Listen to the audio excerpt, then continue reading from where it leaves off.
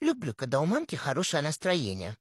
Она тогда готовит что-то вкусненькое, а мне нравится за этим наблюдать. Я нюхаю запахи, которые я никогда нигде не встречал. Она сажает меня на стул, и я контролирую все, что она делает. Сегодня у нас на ужин мексиканский тако.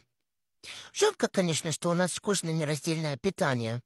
Вот мне для них своего кормика не жалко.